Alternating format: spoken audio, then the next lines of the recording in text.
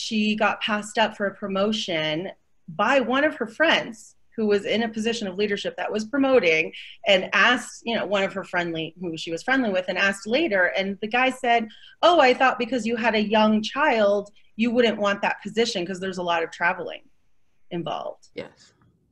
So um, that was another experience that was shared as